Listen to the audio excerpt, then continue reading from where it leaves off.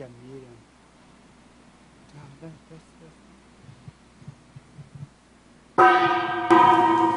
Tertúlia. Meu boa tarde aí para todos e todas. Hoje é dia 8 de 2 de fevereiro de 2013. O, o dia da semana é sexta-feira. O número do verbete é 2562. Ele tem cinco páginas, 48 elogias e 21 máximos. Eu destaco aí a divisão do detalhismo, que tem 13 máximos. O tema é Tradúcio Pensene. A especialidade é pensenologia. Quem redigiu o verbete é o nosso veterano, professor Otto, que está aí muito bem acompanhado. Definição. O tradúcio pensene é o pensene caracterizado pelo contínuo da procura, identificação e emprego oral, escrito ou gestual de equivalentes às gesticulações, vocábulos, expressões ou alusões culturais da língua de partida na língua de chegada. O tradúcio pensene automático em língua diferente do idioma de entrada. O mater pensene do traduciofílico interassistencial veterano o mentalês, a base idiomática mental, a língua materna, a língua estrangeira, a tradução mental, a atividade cognitiva do traduzir, a varredura taxíquica no banco de dados mental, as estratégias para lidar com a memória de trabalho, a gestão da capacidade de processamento cognitivo, o automonitoramento cognitivo, a saturação dos recursos intelectuais o estresse, o tradutores, os erros de tradução, a tomada de notas, a premência das escolhas lexicais em décimos de segundo. A autovivência do estado vibracional profilático antes, durante e depois do tradúcio ou da traduciopensenização. A sinalética energética e parapsíquica pessoal a inspiração dos amparadores versus o conceito de intuição próprio da abordagem ontológica da tradução. O acoplamento e o desacoplamento com as energias específicas de cada língua. O acesso à matriz pensênica do orador por meio da assimilação simpática das energias conscienciais, permitindo ao tradutor se adiantar e até complementar a ideia veiculada. Eu li apenas cinco linhas, tem mais de 20 aí, a parafatologia do verbete. Na remissão dos 15 verbetes, nós destacamos cinco: intelecção, mentalês, multitraduciologia, poliglotismo interassistencial e tradução parapsíquica. Frase enfática. O tradúcio pensene explica o mecanismo de ação intraconsciencial subjacente ao ato tradutório da consciência, homem ou mulher, amador ou profissional, sobre o paradigma da conscienciologia. Você já emitiu tradúcio pensenes? Qual a qualidade, extensão e efeitos de tal manifestação consciencial? Eu chamo a atenção que a bibliografia específica tem quatro fontes bibliográficas. Agora, a mega análise aí com João João Paulo, são 20 itens. Conceito, equivalência, psicolinguística, alusão, assimilação. Compreensão, conotação, denotação, decodificação, identificação. Interpretação, transposição, comunicabilidade, holotraduzibilidade, interculturalismo, poliglotismo, pensenologia, cogniciologia, multitraduciologia e autopolineurolexicologia. O verbete hoje do dicionário é autometacogniciologia, o argumento é parageneticológico. Eu chamo a atenção para o argumentário que tem uma enumeração e o complemento também tem outra enumeração. É, o verbete é mais denso. Ele tem cerca de 87 itens, em três páginas. Agora, questionamento. Professor, tenho feito interassistência junto ao grupo familiar a partir do paradigma consciencial, tendo em vista minha própria recim. Relatei ao senhor meu primeiro contato com as energias. Senti descoincidência, contudo ainda não deslanchei. Estou ciente das minhas demandas patológicas e fazendo força, estando em contato diário com as terturas. Quero pesquisar meu parapsiquismo. Estou em Guarulhos, São Paulo, onde posso acessar os laboratórios Preciso de uma interassistência pela impacterapia. É bom você entrar em contato com a turma de São Paulo, né? mais perto. Professor, o DAC na intermissiologia, página 1, o senhor poderia explicar melhor? Os cursos intermissivos predispõem essa verdadeira façanha intraconsciencial por meio dos autopensantes inatos raros. Poderia é, também exemplificar o caso é o seguinte: os cursos intermissivos eles é, melhoram a qualificação da memória da pessoa. Então, com isso, ela pode acessar a sua verdadeira família consciencial. Com isso, ela supera pela paragenética, a vivência de todo dia, as condições que ela tem na vida humana para poder fazer, realizar a sua autoprogramação existencial. Então, isso pode ajudar muito a pessoa. Os intermissivistas são pessoas fora de série para nós do ponto de vista evolutivo. A gente tem que procurar conviver com essa turma que tudo é colégua. Isso é muito importante. Na página 3, Alto Neo Mundo Evidenciologia, poderia nos detalhar melhor sobre as induções intermissivas capazes de predispor as metacognições e as parapraxes axiológicas. Olha, os processos todos é o seguinte: nós temos, às vezes, durante o período intermissivo, uma série de induções que a gente tem dentro da memória e que a gente fixa aquilo e dá valor para o processo. Quando a gente chega aqui, às vezes, a gente recorda dessa realidade. Alguns têm isso ainda, ainda mais profundo, através de paramicrochip, principalmente aqueles que têm macrosoma. Então, essas coisas todas existem mesmo. A situação é séria. Agora, como eu estou falando, alto da pessoa, neo é novidade, mundividência é a pessoa que tem uma visão global do cosmos. Isso, então, é que é um tipo de ciência mais avançada que nós temos hoje. Alver Betório, professor Otto, na fatologia, página 20, penúltima linha, poderia nos esclarecer mais sobre a bar barbarolexia e anagliptografia. A barbarolexia é um outro termo para estrangeirismo. Existe um verbete, inclusive, na enciclopédia com esse tema. Barbarolexia pode ser entendida também como peregrinismo ou então barbarismo. Barbarismo já é um termo do português lá do século XVI que eles não gostavam muito quando palavras estrangeiras adentravam a língua. Mas de qualquer maneira, hoje em dia os estrangeiros são usados de modo técnico, inclusive na enciclopédia da Conscienciologia, vide, haja vista, a seção estrangeirismologia. Então, isso que significa barbarolexia. A anagliptografia, por sua vez, é aí no caso um, é uma escrita em relevo, tá, para a leitura de cegos. Então é o braille, então são aqueles pontinhos, ele tem uma espécie de alfabeto, então tem uma sistematização para o uso daqueles pontos, e essa escrita em relevo foi criada pelo cego francês Louis Braille. Então foi o próprio Braille, o, cujo busto se encontra aí na Alé dos Gênios. Ele nasceu em 1809 e dessumou em 1852. Na tecnologia, página 21, poderia nos detalhar a técnica da inversão que não é existencial, a técnica da modulação, técnica da nominalização e do calque.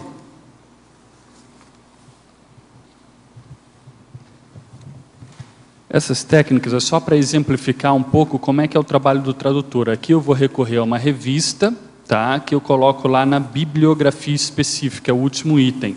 Essa daqui é a revista Tradução e Linguagem, um especial que você viu da revista Língua Portuguesa, essa edição então específica para os processos da tradução. Esse artigo do profissional Fábio Said, que tem livro escrito na área da tradução, fala um pouco das diferentes técnicas. Então, a inversão que não é existencial é, por exemplo, quando você tem aqui, para explicar, vou ter que recorrer a alguns exemplos de outros idiomas. Aqui, no caso, o exemplo que nós temos é do inglês. Então, aqui estava escrito assim: It was the task of the rulers to maintain the balance. Então, aqui, o que, que ele fez? Se eu fosse traduzir ao pé da letra, seria: era a tarefa dos governantes, mas na tradução ficava mais fluido nós falarmos: a tarefa dos governantes era. Então, nós simplesmente fazemos uma inversão aí da ordem dos termos na oração. A técnica da modulação, ela é inclusive usada no seu próprio idioma. Por exemplo, você fala assim: ele não é muito inteligente. Com isso, você está querendo falar que ele, enfim, é mentecapto ou tem um problema de ignorância. A mesma coisa você usa na tradução. Um outro exemplo. He will not be here until tomorrow. Então, ao pé da letra seria: ele não estará aqui até amanhã. Ou você pode falar ainda melhor: ele só chegará aqui amanhã. Então, uma frase que usava o não, você está colocando no afirmativo correto? E o outro aqui seria a técnica da nominalização.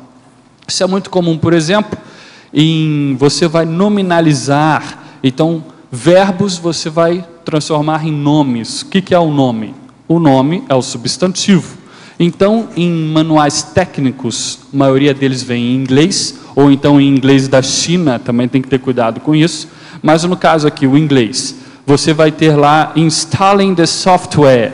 Então, instalando o software, mas você pode traduzir instalação do software, fica muito melhor. Setting up the device, configuração do aparelho. Em vez de usar o verbo, que seria ao pé da letra, você usa um substantivo no caso. Aqui a outra seria a técnica do calque, que foi perguntado. Calque significa também decalque, pode ser usado uma ou outra, esse termo veio do francês, significa você fazer uma tradução ao pé da letra. Então, por exemplo, alta tecnologia em português veio de high technology. O francês usa science fiction para significar ficção científica, porque traduziu diretamente do inglês science fiction. Então, ele manteve até a ordem das palavras. E por aí vai. Eu espero que tenha clareado aí. Acho que eram essas, né? Tá bem, tá bom. Falou bem. Ele estará aí amanhã. Amanhã ele está aí. Melhor Isso ainda. É melhor ainda. Na trinomiologia, página 22, terceira linha. Como funciona o trinômio das línguas ABC? Essa é uma nomenclatura da interpretação de conferências. Quando nós falamos de tradúcio pensene aqui, nós nos referimos aos tradutores que trabalham basicamente com texto e os tradutores orais que trabalham com a tradução de conferências. Esses tradutores orais são também chamados de intérpretes, então intérpretes de conferência. A classificação das línguas da pessoa obedece a isso aqui. Língua A, geralmente a língua materna, no meu caso, português. Língua B, então, é a língua que ela tem um bom domínio para a qual ela também traduz, então ela também usa nas traduções, aqui no meu caso é o inglês. E a língua C é uma língua que ela pode usar como língua fonte, ou língua de partida, ou uma língua a partir da qual você traduz. No meu caso, por exemplo, o espanhol e até o francês. Então, isso daqui é uma classificação, uma terminologia da classificação linguística pessoal do tradutor ou intérprete. Não entendi muito bem o que o senhor quis dizer no DAC, na penúltima linha, em parageneticologia. O senhor poderia falar mais um pouco sobre o assunto? Olha, vamos aqui ver o tópico inteiro para você entender. Parageneticologia. A primeira natureza a ser dominada está dentro de nós. As habilidades paragenéticas, obviamente congênitas ou inatas, facilitam a recuperação dos megacons. Megacons quer dizer, são aqueles cons de alta profundidade, valor e lucidez. São os cons magnos, como eu chamo. Notadamente quanto ao know-how a respeito da seriexologia, quer dizer, a serialidade das vidas sucessivas, vidas humanas. Quem mantém a lucidez dos pensenes, o equilíbrio do temperamento e a moderação do laringo chakra, quer dizer, quem fala menos acerta mais. Sai bem em qualquer circunstância o olo pensene. O burilamento evolutivo da consciência é o que importa. A pérola, na própria concha, não tem valor. Se a pessoa, por exemplo, ela ficar fechada nela e não ajudar ninguém, ela não tem valor nenhum. À noite, o sono e a projeção consciente são válvulas de escape da consciência intrafísica mais lúcida. Ela então pode sair pela descoincidência e vai visitar o processo da sua paraprocedência, ou ver o seu passado com detalhes, ou fazer assistência aos outros. A consciência que tem retrocognições sadias sonha com as comunex evoluídas, que esse é o paradise, é o paraíso, é o oásis da vida humana. O pássaro na gaiola sonha com as nuvens. Ninguém gosta de ficar preso. E a vida humana é a falta de liberdade. Isso aqui é uma escravatura. Agora, é uma escravatura positiva que você pode trabalhar muito, ajudar muita gente. A rigor, o verdadeiro amor fraternal exige o conhecimento dos compassageiros evolutivos. Quer dizer, o povo que está aqui em torno da gente. Quem é esse povo? É bom você saber o passado que diz respeito a isso. Agora, isso em nível multiexistencial e multissecular. Por isso, as auto-retrocognições, quer dizer, as lembranças, as memórias remotas, expandem o amor à humanidade. A paragenética pode dominar a genética. Proto-verpom é lembrança. Proto quer dizer uma verdade relativa de ponta inicial, é, primária. É uma lembrança. Agora, neoverpom, quer dizer uma verdade relativa novíssima, já é sabedoria. Então, o problema aí que você está encabulado e que está fazendo força, o problema todo é o seguinte: olha a sua memória e vê se você tem retrocognição. Anota essas coisas e vê o que, que você está fazendo com isso. Assim você vai entender mais o povo com quem você vive. E isso é muito importante para ajudar essa turma. Professor, no livro Nosso Lar, a consciência André Luiz descreve um sonho que teve com a sua mãe e diz que teve a noção que deixou o corpo em repouso no leito onde descansava. Como é possível uma consciência sonhar e até mesmo projetar-se em outro ambiente? Como isso ocorre? Nesse caso, qual veículo de manifestação deixa o corpo espiritual e qual veículo de manifestação permanece em repouso? Por favor, o senhor poderia aprofundar o assunto? O caso todo aí é o seguinte: existe a projeção, que você sai do corpo com o psicossoma que vocês aí espíritas chamam de perispírito. E existe aquilo que o espiritismo estuda, que é o corpo mental. Então, o que o André Luiz insinuou aí é o mental soma, o corpo mental, que os espíritas não querem admitir, porque eles são fanáticos com Allan Kardec e Jesus Cristo.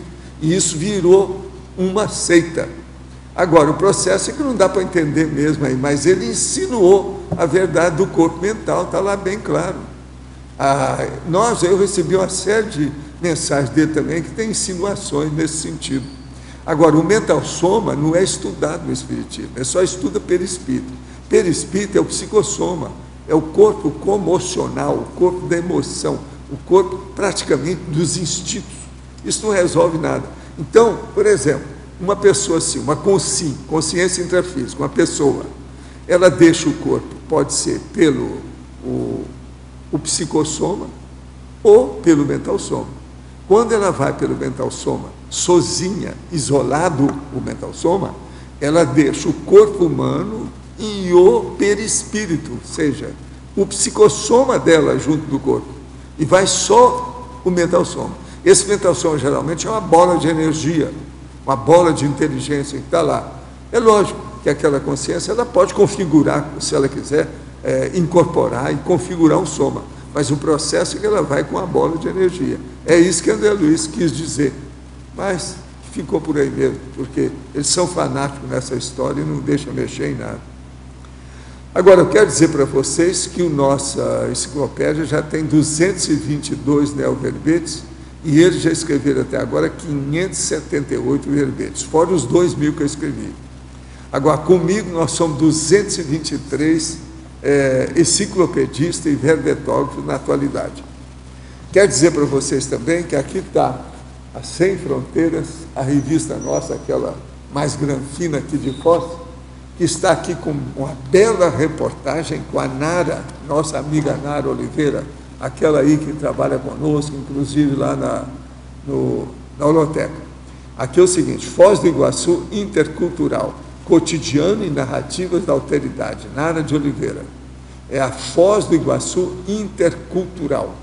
Ela está mostrando isso aqui no livro e está falando os detalhes do livro e o local da publicação, como é que foi, e a editora Epígrafe, que tem o telefone e também o processo do, é, dos lançamentos em Foz do Iguaçu para os próximos meses. Tem quatro é, ilustrações, a reportagem tem muito detalhe. Responde como surgiu a ideia da pesquisa. A pesquisa trata das diferentes culturas presentes na fronteira? Qual o objetivo da pesquisa? De onde vem o interesse pelas imigrações? Para finalizar, pode falar um pouco sobre a alteridade? Está previsto algum lançamento em Foz para os próximos meses? Aqui responde a tudo isso com detalhes. Está ela toda aqui bonitona aí, sorrindo, etc. Tal. Muito boa. Essa é a revista que está nas bancas hoje. Agora, outra coisa, tem um negócio aqui que eu vou falar que é uma novidade. Há muito tempo se pensava fazer isso, só agora que saiu. O preço desse negócio aqui é 35 pratas, 35 reais. Projeções da consciência. Diário de experiência fora do corpo. Foi eu que escrevi esse livro. Agora, aqui não é livro, não. É um audiobook. Então a pessoa é só escutar que ela vai ver tudo que está no livro. Não, não é? Tem várias pessoas falando. Tem várias pessoas falando. De modo que é um audiobook, 35 pratas, está aqui o negócio bonitinho, com os detalhes todos. Tem tudo aqui sobre o processo do, livro. Vale a pena ver. Hein? Já tem lá, né, Piga? E são 35 reais.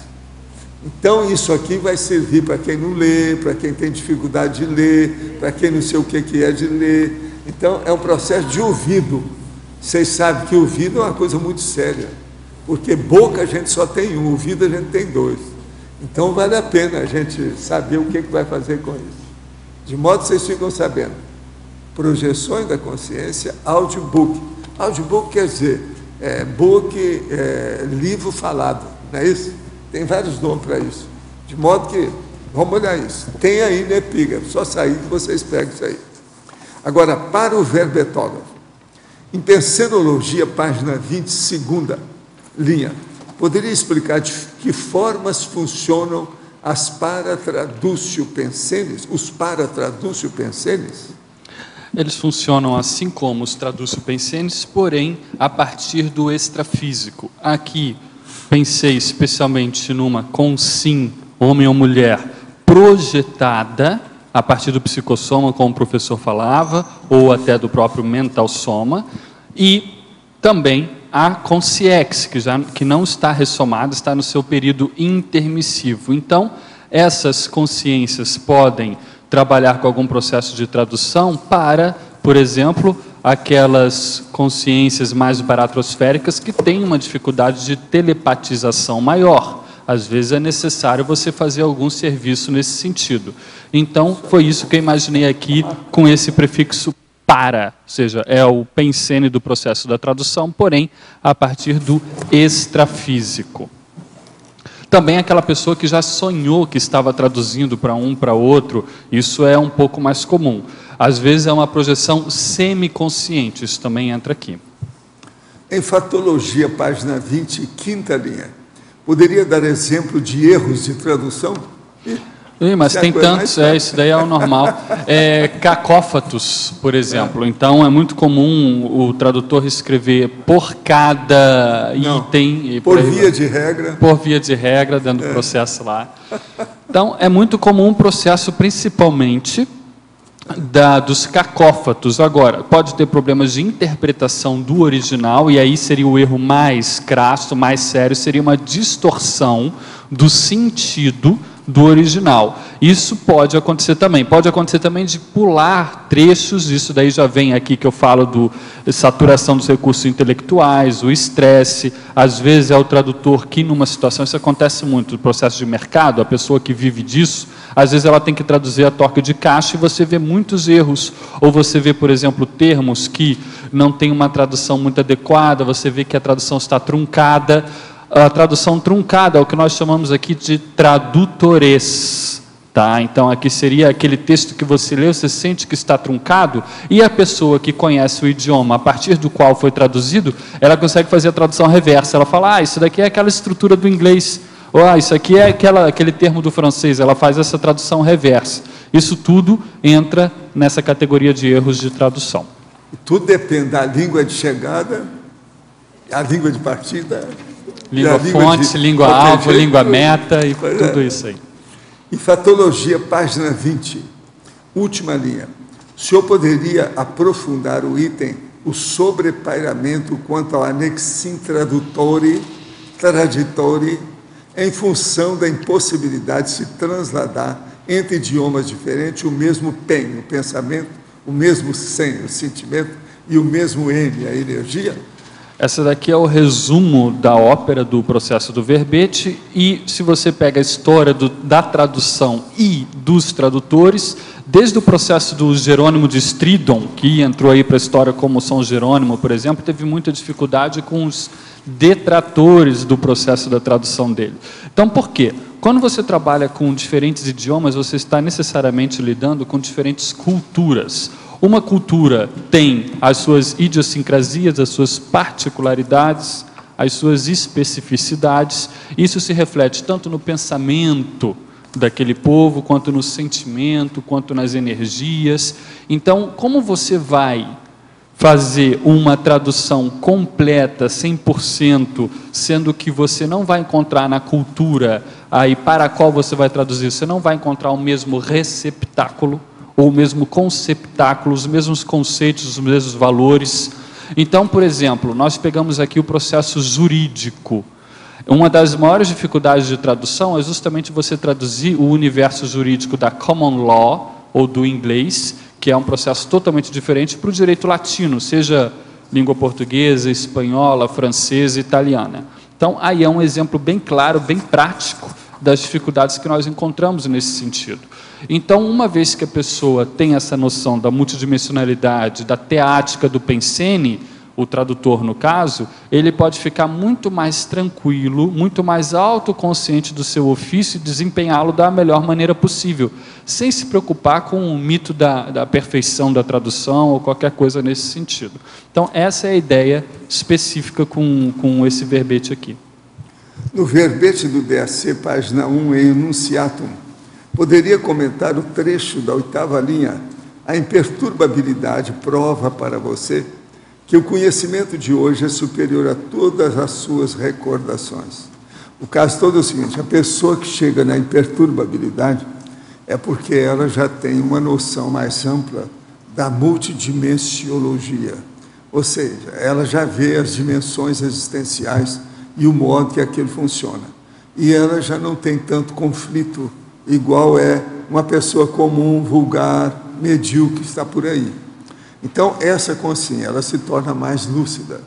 Com essa lucidez, ela começa então a dar mais valor para o processo mnemônico, ou seja, a sua memoriologia, a sua memória pessoal.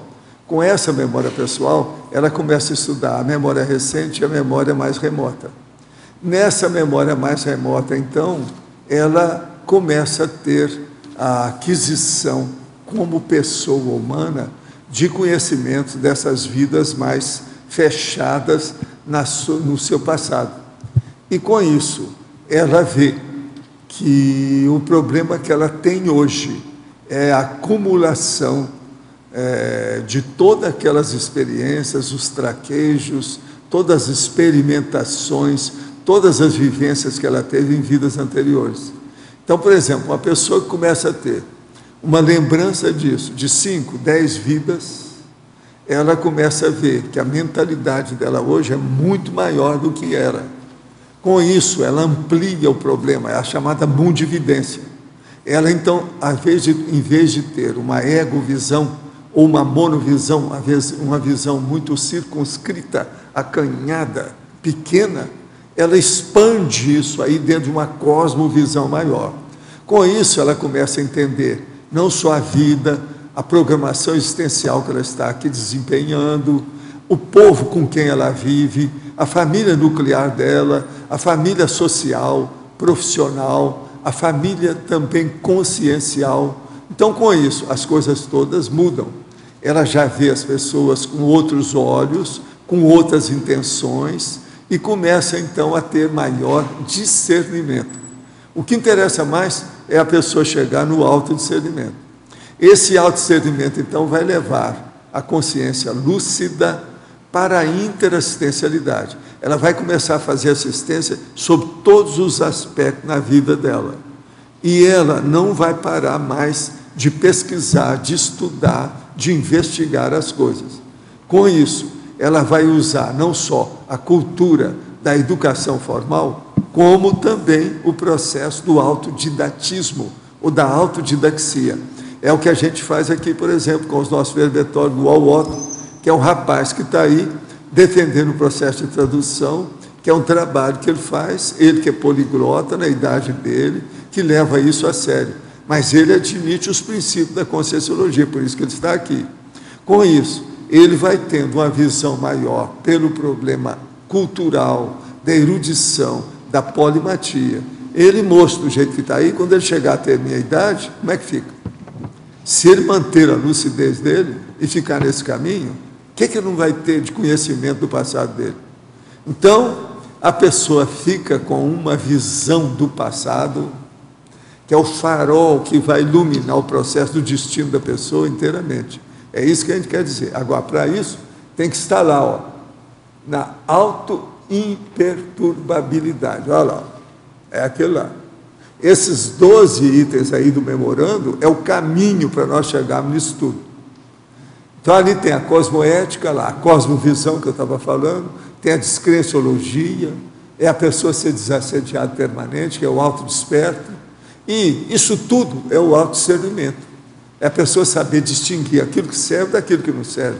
Uma coisa que é da evolução, que a pessoa vai à frente, e outra coisa que é demodê, que está ultrapassado, que é do passado, que é regressão, que não interessa mais. Então é muito sério o processo da imperturbabilidade para nós entendermos as pessoas e com quem a gente vive. Esse é o caminho. É isso que eu quis chamar a atenção. Agora, examina bem esse verbete, que tem muito mais detalhe aí. Olha só essas palavras que eu falo. Por exemplo, quem tem medo de perguntar tem vergonha de aprender. Você é bom, que você mostrou que você não tem medo. Há muito tempo que você vive perguntando as coisas aqui. Ele é de Belo Horizonte. Isso é bom. Na manifestação do ortopensene, ortopensene, há raciocínio sem emoção. A pessoa então está super equilibrada dentro do processo. Tudo aí está nesse verbete. O pássaro na gaiola sonha com as nuvens. Presta atenção, ele quer ter liberdade. Então, o processo nosso, a memória, ajuda demais nesse setor. E outra coisa, a pessoa tem que começar a ajudar os outros, que é o que eu estava falando aí antes. A pérola na própria concha não tem valor nenhum. Ela tem que sair da concha. Senão, como é que é? Você pode ser uma pérola fora de série, mas você não sai de sua casa, não faz nada, não ajuda ninguém. Você é uma droga, você é da esquerda. Como é que fica? Tem que sair. Vamos dar um jeito nisso. Agora, Nelverpon é sabedoria. Aqui tem uma série de Nelverpon. São verdades relativas de ponto. Não existe verdade absoluta. Mas uma verdade relativa você é obrigado a saber. Por exemplo, eu falo aqui, ó, essa é minha mão. Ela tem cinco dedos. Eu conheci isso desde que eu tive a primeira noção na minha vida. Isso é uma verdade. Ninguém vai me dizer que tem seis dedos. Ou que é a mão, a sua mão. Não. Eu, a mão da sua vovozinha. Não é. É minha. Então, olha, isso é uma verdade. Outra coisa, isso aqui é a mesa. Acabou, é a mesa. A verdade relativa de ponta. Agora, esse auto-taque para retropancogniciologia é um dos maiores? É um dos maiores, esse aí é dos maiores. Mas ó, tem, tem uns de sete, sabe? Esse tem sete. Esse aí você já contou? Esse é de sete. Pois é, tem vários, de, o sete é o maior. Agora, isso tudo letras. você sabe, tem os prefixos, mas o negócio todo são os afixos. Esse tem sete afixos, porque não é só prefixo. Entra sufixo É, também. entra sufixo, entra uma série de Raiz, condições. tudo. São, o problema todo são os afixos, de modo geral. O conteúdo. Uma vez a sua mãe estava muito encasquetada com isso, ela começou a estudar comigo, veio me perguntar, mas como é que é isso? Por que, que é que você. Você lembra? Faz muitos anos. Hoje ela está tranquila, está estudando. Tudo por causa do processo dos afixos. Agora, nós temos que estudar são os morfemas. Todos esses afixos aí, na verdade, no fundo, são morfemas, morfemas. que é o processo seu de tradução, que é o problema da revisão, que é o processo da interpretação, de falar.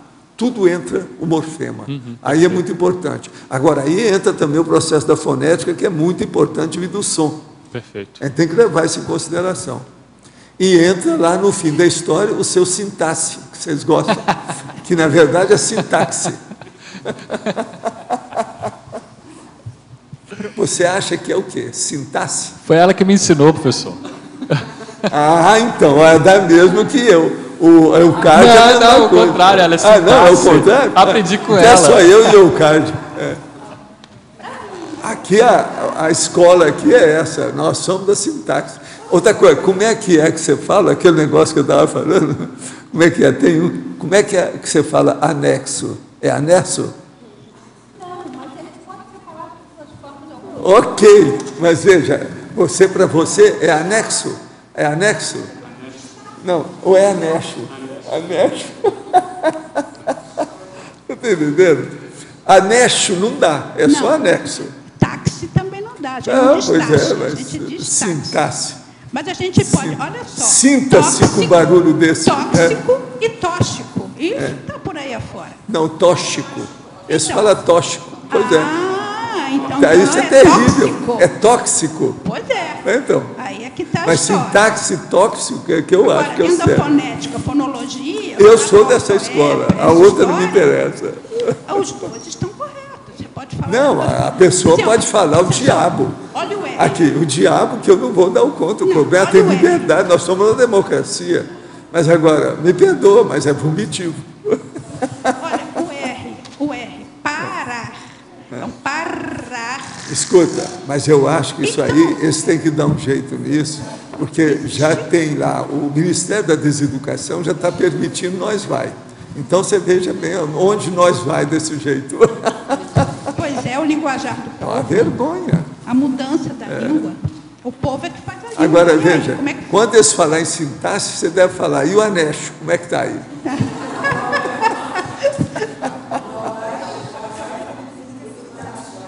Pois é, mas você sabe, o dicionário, se, se vocês encontrar um dicionário que você esteja de acordo com tudo que ele tem, eu dou um prêmio para a pessoa. Sempre tem bobagem.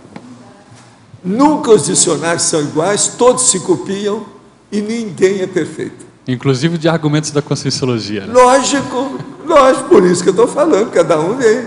E outra coisa, o que é bom é o debate. Sem debate não há luz. Então É o caminho, preciso é o haver caminho. discussão para nascer a luz, senão não nasce. Processo intelectual sem debate. Viva não a discussão. É, não é. Viva. Gente, eu entrego então o professor Otto para vocês. Pode falar, ó, chefe.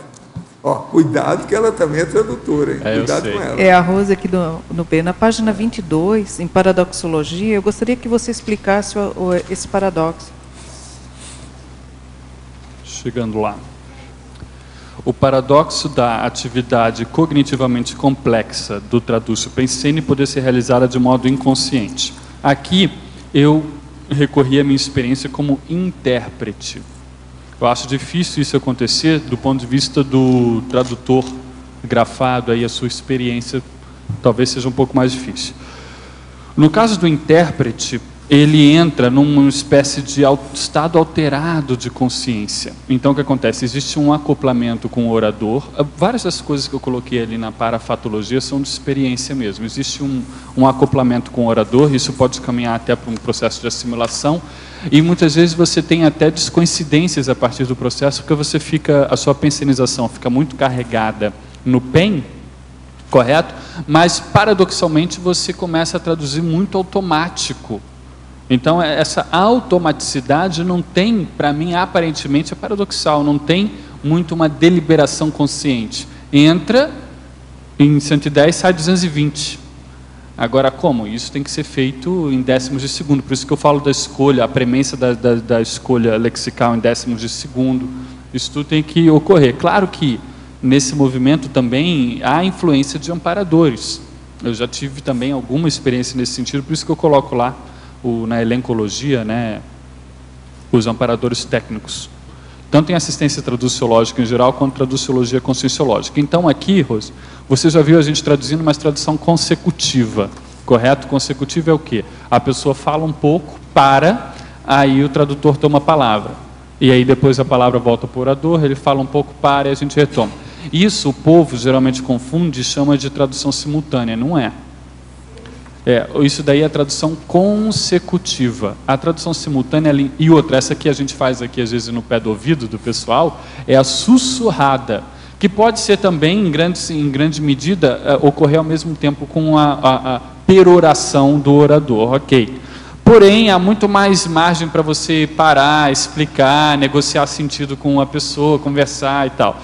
Na simultânea, como a gente entende, simultânea implica você estar numa cabine, isolada acusticamente, longe de todo mundo. Para que esse isolamento? Para você poder ter um acesso ótimo às palavras do orador, então você tem toda uma parafernália tecnológica ajudando, e aí você então traduz e o pessoal quer escutar ou não, o pessoal fica à vontade porque tem um receptor.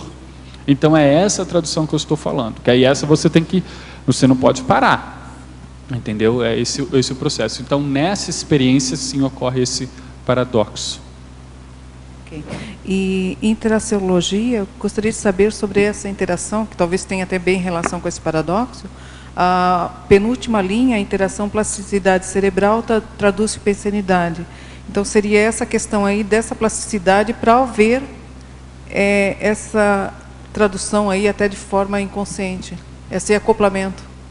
Eu vejo que tem total relação, sim.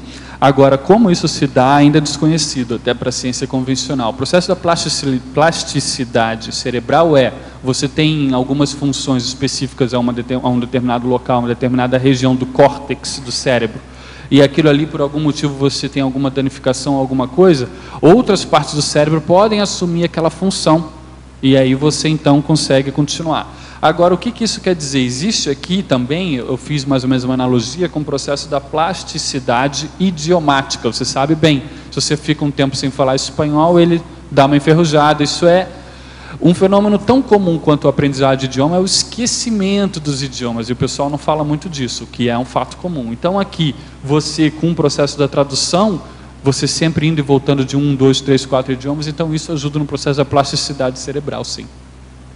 Ok. E, bom, eu quero mais um pouquinho aí na efeitologia, na página 21, é a segunda linha, o efeito do método tradução gramática sobre a educação do traduz PSN. Quero saber aí como, que que é como isso, né? atua né? aí, o é, é. que, que é isso aí. Isso aqui é o seguinte, olha só, esse, esse método, tradução gramática, foi um método de ensino de idiomas bastante em voga, bastante corrente ao longo de toda a Idade Média, até a Idade Moderna, até eles chegarem a, a essa miríade de métodos que se tem hoje, método de assimilação natural, método comunicativo e por aí vai. Mas, esse método, por exemplo, com as línguas clássicas, grego, latim, então, eles ensinavam o idioma a partir da tradução. Talvez até algumas pessoas tenham vivido isso aqui na escola, no aprendizado de latim e de grego e às vezes até de francês. Olha, eu, eu, aprendi muito do espanhol até com a tradução. Foi um método bem parecido com esse. Tive que estudar a gramática para aprender o idioma para atuar na tradução. Uma coisa contribuía para outra. É um método muito bom, né? Esse método é ótimo. E tanto é que o pessoal de, de idiomas em geral, por um tempo, baniram o processo de tradução, mas aí começaram a voltar a ela. Porque existem alguns métodos que falam que traduzir é ruim. Claro, a pessoa tem que ver o estilo dela como ela aprende. Agora, isso que você fala, então,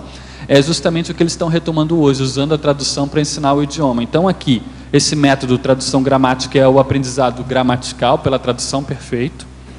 Educando já traduz-se para a inscenização da pessoa. Às vezes a pessoa não está aprendendo para ser tradutora, está aprendendo ali para assimilar o idioma, mas já educa. Se depois ela seguir por essa linha, ela já tem mais ou menos uma base. Né? Tá ok, obrigada. Tá? De nada. Otto, aqui na página 21, para fatologia, de baixo para cima, eh, nona linha. Ampliação do rapport energético com determinado padrão de energia Governando. governando a sincronicidade. Perfeito. Aqui tem várias casuísticas, é bem interessante isso daqui. Essa, esse rapport energético, esse processo de sincronicidade acontece muito na nossa vida de todos nós aqui, porém às vezes são sutis, são pequenas e a gente acaba não dando importância. Mas eu tenho algumas, hoje de manhã, por exemplo, foi interessante. Traduz Pensene aqui para mim, ela está baseada, ela está assentada principalmente no processo do português, língua portuguesa, é claro.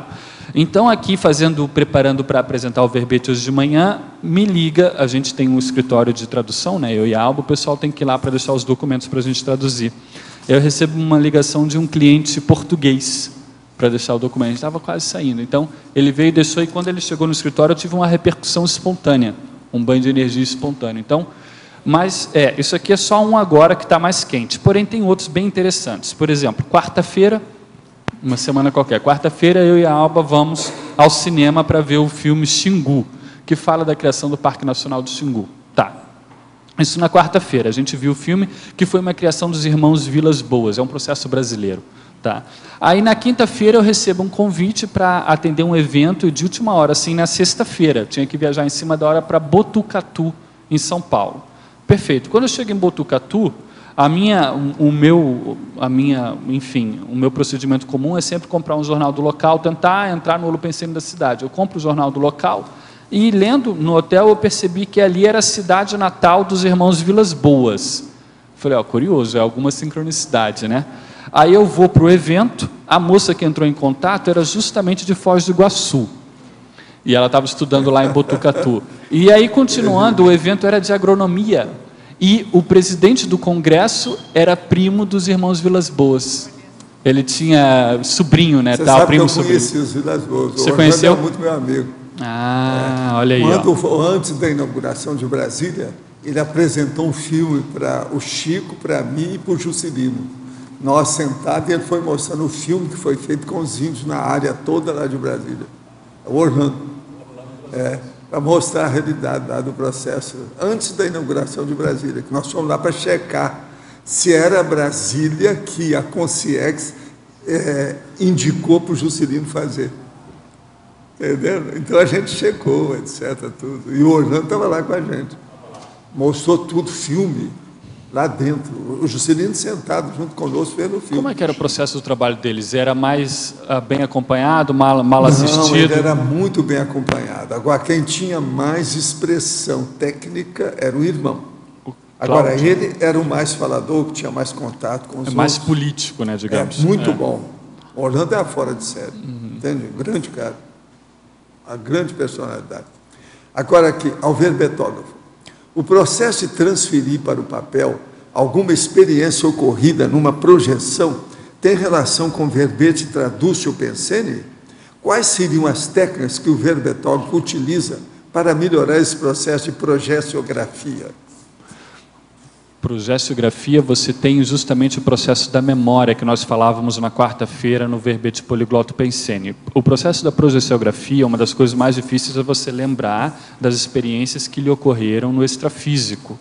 E a rememoração, às vezes, de alguma experiência transcendente, uma experiência mais avançada, é particularmente problemática. Então, aí, o ideal é você observar o enredo, tá, o elenco, então, tudo que está acontecendo, o itinerário da sua projeção e associar aquilo a alguma palavra-chave.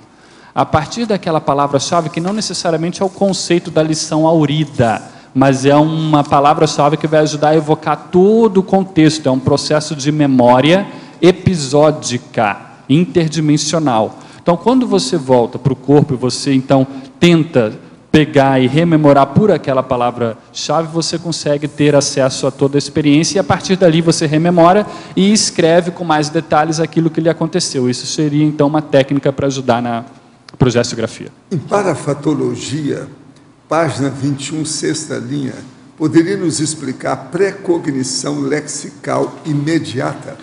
Como eu falo aqui, a gente acaba tendo um, um rapport, uma assimilação, às vezes não chega tanto um acoplamento, é muito comum com o orador que está, no caso, fazendo a sua peroração, a sua intervenção oral. Aqui eu me refiro então a um processo de tradução simultânea, interpretação de conferências, é aquele tradutor que trabalha na cabine em eventos, em conferências internacionais.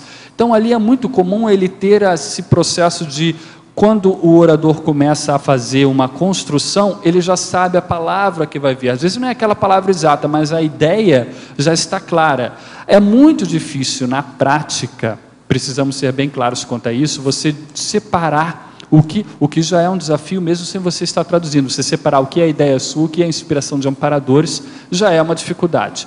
Na tradução tem um processo ainda mais difícil, porque às vezes é um assunto que você conhece já o vocábulo, quando ele entra numa determinada linha de expressão, de ideia, aquilo já evoca em você toda uma rede semântica, toda uma associação de ideias que estão vinculadas àquilo que está sendo dito, que está sendo falado, que está sendo imposto. Então é normal que você já tenha várias palavras na manga para aquilo que a pessoa está falando. Então, muitas vezes, essa precognição lexical imediata é também já um processo anímico, não é parapsíquico. Às vezes é um processo parapsíquico. E às vezes é um processo da interrelação de você ter conseguido captar alguma coisa, uma, uma espécie de telepatia que é a homopensenização, homopensenidade que eu falo na pensenologia, o processo da sintonia aí. É, Professor, meu pai passou por uma cirurgia de extração total da próstata e está tendo dificuldade no pós-operatório na cicatrização do canal da uretra. O fato dele ser casca grossa afeta nesse processo? Não, não é bem casca grossa. A coisa mais séria é que se ver se tem algum processo de assédio. Faça arco voltaico nele, você é capaz disso, tenha confiança que isso aí vai ajudá-lo arco voltaico. Professor, o senhor vem batendo no assunto da lucidez. Há uma técnica para mensurarmos o nível de nossa lucidez? De que forma entender isso em relação à nossa vida na SOCIM? O que eu devo fazer para checar o meu nível de lucidez? O senhor, quando criança, tinha lucidez? Como isso funciona na prática? Poderia falar mais sobre isso? O caso todo é o seguinte: lucidez nós estamos falando é quando a pessoa começa a ter algum vislumbre de autodiscernimento. Então, a base toda da lucidez que nos interessa é a lucidez evolutiva, cosmoética, prioritária. Então, com isso, você tem que ver o seu nível. Por exemplo, como é? O que, que você tem feito na sua vida? Olha a qualificação das suas tendências. O que, que você escolhe para fazer? Como é a sua vida em matéria de interassistencialidade? Por exemplo, uma pessoa que tem mais lucidez do ponto de vista intermissivo, do curso intermissivo, ela geralmente começa a praticar TENEPS logo. E outra coisa, se ela ainda tem mais lucidez ainda, ela entra na inversão existencial. Então, por exemplo, ela vai trabalhar na Simvex. Isso mostra que é a lucidez precoce. Essa precocidade, ela não é prematura, não. Ela vem já com lucidez para funcionar na vida da pessoa. Eu comecei a ter manifestações parapsíquicas aos três anos de idade, mais seriamente. Aos nove anos, eu provei que eu estive fora do corpo, a minha família e dois médicos que estavam lá trabalhando. Isso aos nove anos de idade. Quer dizer, o processo todo desenvolveu depois. Psicografia, por exemplo, eu comecei a ter e recebi o primeiro soneto alexandrino espontaneamente de jato, é, eu tinha 13 anos. Então, isso tudo é um tipo de prematuridade, mas que não chega a ser um processo precoce patológico. É, no caso aí, que isso aí nunca me afetou, sempre me ajudou. Então, a gente tem que entender o processo da sua lucidez. No seu caso, você tem que olhar o que, que você faz, quais são as suas tendências. Por exemplo, pelo hobby, a gente vê a lucidez da pessoa. Pela escolha da profissão, a gente vê a lucidez dela. Pela capacidade que ela tem de estudar, a gente identifica o nível, a, o percentual, a característica da lucidez da pessoa. E outra coisa, pela sua biblioteca, eu falo da sua lucidez. Agora, não é só isso. Pelas suas companhias, a gente sabe quem é você, quais os seus interesses. Por exemplo, pelo seu fim de semana, eu sei se você tem lucidez ou não. Agora, às vezes, por uma fotografia, a gente vê se a pessoa tem ou não. Aparece o cara com a fotografia, com o cigarro na mão, é burro, né? Está na cara. Qualquer um é burro, mesmo aquele que seja o maior gênio. Por exemplo, Freud aparecia sempre com charuto. Burro. Outro que aparece é o Zygmunt Bauman, também aparece nos livros dele, É, com o cachimbo. Hobsbawm. É, Tem vários desses. Sob o verbete do DAC, em Parageneticologia, página 3, segunda linha, poderia comentar sobre a expressão proto-verpom é lembrança. Proto-verpom. Proto quer dizer uma coisa anterior, ou que tá, co- está começando só. Então, é mínimo. Então, é uma verpom inicial. Isso, então, por exemplo, a pessoa tem uma lembrança. Aquilo pode ser uma verdade relativa de ponta dela, que é uma proto-verpom, uma verpãozinha pequena, que está começando, uma verdadezinha relativa de ponta que vai ajudar lá naquele processo. Então é isso que nós queremos fazer. Agora, o problema que interessa é a neoverpom, essa que é a sabedoria. Neoverpom é uma verdade relativa de ponta nova, que vai trazer, às vezes, até um neologismo para a pessoa, uma palavra nova que ela não entende nada. Essa, então, é que é mais sabedoria, porque é mais madura, está na frente, é mais de ponta. Isso é que é a coisa que a gente quer dizer. Otto, é, na página 21, em Parafatologia, na sexta linha de baixo para cima, amplia um pouco a questão da autoparagenética traduciogênica. Tem a ver, Bárbara, isso com o que o professor Valdo estava falando. Então, o que acontece? Na minha paragenética, é normal que eu tenha trabalhado com idiomas em vidas anteriores. Então, esse processo, quando você começa a ter, nem que seja uma proto-verbom, aí que ajuda, nesse caso, você começa a entrar no caminho e isso vai lhe ajudar a fazer as traduções, a trabalhar com o processo de tradução pensei, a trabalhar com o processo de multiculturalismo, interculturalismo. Então, essa, esse processo da assunção da holobiografia tem a ver com o processo da paragenética, que vem muitas vezes em forma de inspiração, que seria a proto-verpom, ou às vezes a vida lhe encaminha, se você está aberto para o processo, se está com boa intenção, vontade de acertar o passo, vontade de se ajustar num processo de inversão existencial, a questão vai se encaminhar para você. Para mim, se encaminhou dentro do processo da profissão. Eu comecei como guia de turismo, ali eu já tive os meus processos de, de lidar com diversas culturas, e dali foi caminhando. Dali foi, foi enfim, as companhias também, então dali é, eu formei a dupla evolutiva e a Alba tem grande influência nesse processo da tradução, no meu caso. Ela meio que, que mais e ou a menos pessoa indica. deixa de ser Bárbara, não é isso? É, Você sabe o nome dela, né? Aham. Você sabe? Aí é contigo, Bárbara, o que, que você diz? É, só mais uma pergunta. Aham. É, em binomiologia, expande um pouco o binômio retenção e recuperação mnemônica. Uhum. Você, quando você lê, escuta, ou observa, ou tem uma parapercepção, você vai, então. Há um processo aqui, às vezes até anterior, que seria a codificação, ou seja, a interpretação daquele processo. Mas, enfim, você então tem aquela informação. Naquela informação, você vai reter, ela vai entrar, a princípio, na sua memória de trabalho. Aquela memória, tipo um número de telefone. Se eu falo um número para você, você pode ligar, mas daqui a uma hora você já não vai mais lembrar. Né? Então, então, isso daqui você tem que trabalhar na retenção. Você pode ter algumas estratégias, você repetir para você mesmo, ou então você escrever, ou você falar, você aplicar de alguma maneira, para que então aquilo seja devidamente retido e passe para a sua memória de longo prazo. Passando para a sua memória de longo prazo, depois você vai ter então, sempre que você precisar daquela informação, um processo de recuperação. A recuperação dessa informação, então, é o que nós estamos chamando a atenção aqui, esse binômio retenção e recuperação mnemônica. Diz respeito ao processo de memória que nós temos aí no dia a dia. De Ó- nada. Otto, Sim, duas questões. vamos lá. Primeira na página 21, na codigologia. Fala dessa hipótese aí e como é que ela enriquece o código da cosmoética. Ah, muito bom. Hipótese da Sapir Sim. Eu vou fazer o seguinte, Tânia, eu vou recorrer aqui ao Eu estou aqui com a enciclopédia de ensino e aprendizado de idiomas, tá? Foi uma essa enciclopédia e uma outra que eu tenho aqui de tradução que eu mandei vir recentemente, muito boas para esse estudo que eu ando desenvolvendo, tá?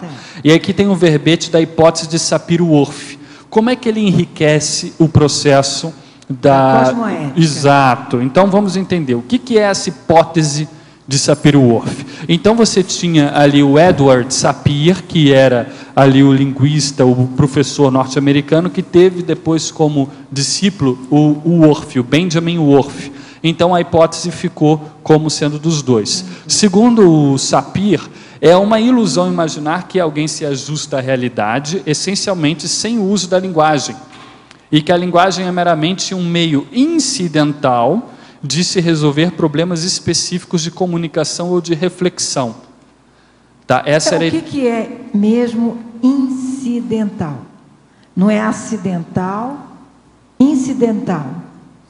Incidental aqui seria um sinônimo de acidental. É porque eu estou lendo aqui diretamente Tá. do inglês. Mas é, é um processo Certo. eventual aí. É um processo eventual, exato.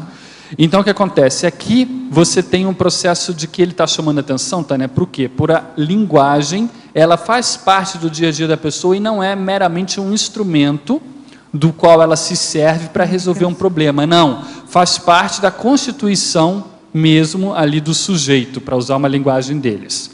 Tá? Aí depois vem o Orff e acha o quê? Ele pôde comprovar essa ideia do Sapir quando ele estudou tá? os Hopi, que eram. O Hopi aqui era uma tribo Uma ali tribo. dos. É, o Hopi. É, o Hopi dos Native Americans. Dos, Não, é a turma que fazia chover. Eu estudei esse povo. Que aprendeu, a, aprendeu a fazer chover com Eles muita energia, é, índio roupa. É. Entende? E ele então descobriu o que, Tânia? Que essas categorias gramaticais dos, dos Hopi e das línguas europeias, por exemplo, eles selecionam e eles destacam aspectos diferentes da realidade.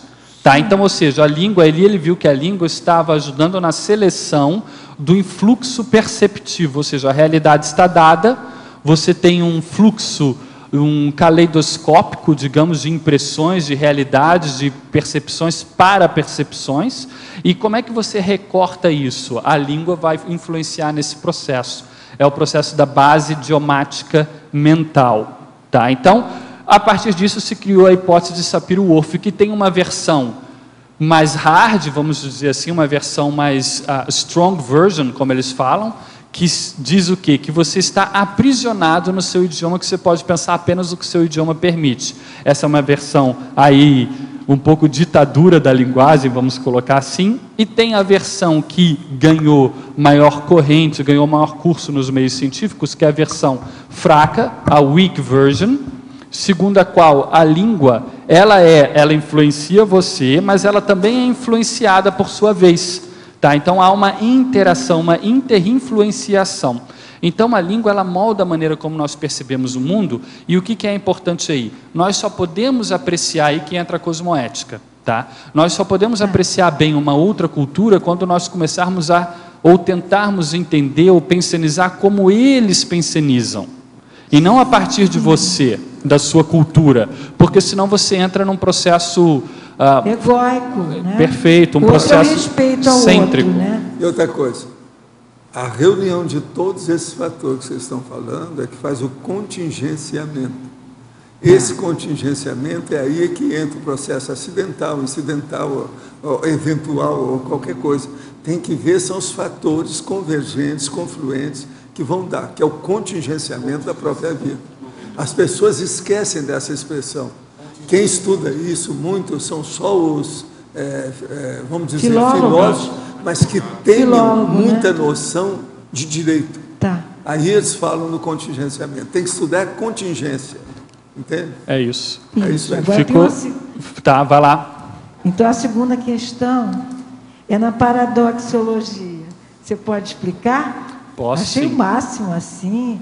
É. Eu não consegui ver, é, pensar em nada. Então, esse é um processo de senso universalista, né? Você tem o verbete senso universalista e tem o capítulo da técnica de aquisição do senso universalista no Projeciologia. Isso diz respeito lá ao que a gente estava falando, tá? Da hipótese do Sapir-Whorf. Agora, na paradoxologia, é como eu já estava explicando aqui para a Rose, o que, que acontece? Você tem aqui, Tânia, um processo que eu imaginei, traduz-se pensene diz respeito ao pensene tradutório, tanto da pessoa que trabalha com textos escritos, quanto da pessoa que trabalha com o discurso oralizado, tá? Aqui diz respeito ao processo do discurso oralizado, porque você enquanto intérprete, você já deve ter frequentado aí eventos em que havia interpretação uhum. simultânea, que eles dão os fonezinhos para você acompanhar.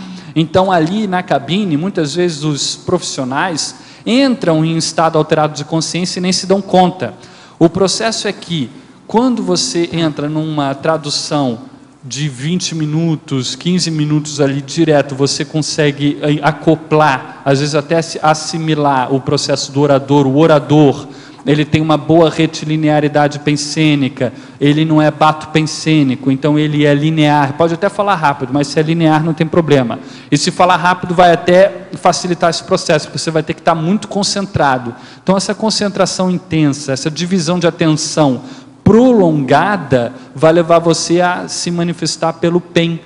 E aqui o paradoxo é o quê? Que você então está traduzindo praticamente de modo inconsciente não está passando por uma deliberação uhum. sua, a priori. A coisa flui. E é justamente nos momentos em que você tem que procurar a palavra e pensar no que você vai fazer que você corta o processo e tem aquela mini hesitação. Então é justamente quando entra o processo consciente que corta um pouco o fluxo. Uhum. Então isso é um paradoxo. Eu não sei bem como é que funciona isso, nem nas ciências cognitivas convencionais, e segundo a enciclopédia que eu trouxe, eles também não entendem muito bem. E aqui a gente teria que estudar isso para complexificar ainda mais, segundo o que eu coloco lá no sinergismo, primeiro, o sinergismo cérebro para cérebro. cérebro. Aí seria o estudo mais correto dessa situação. Por quê? Porque a gente, embora tenha a fisiologia do cérebro atuando aí na traduz-pensenização, que ainda é desconhecida, mas o fulcro da pensenização inteligente, do autodiscernimento, é o paracérebro. Então, como é que ocorre essa interrelação? A gente já então já chega às raias da mateologia nesse caso, né? Mas o paradoxo é isso, né? Deixa você aqui é praticamente uma aporia, né? Não é uma Sim. contradição aparente, é uma aporia, é uma Sutil, é um paradoxo real, exato. Sutil, é bem bem escondido. Não, beleza. Muito obrigada. Professor Disponha. Valdo, eu tinha uma questão. Sim.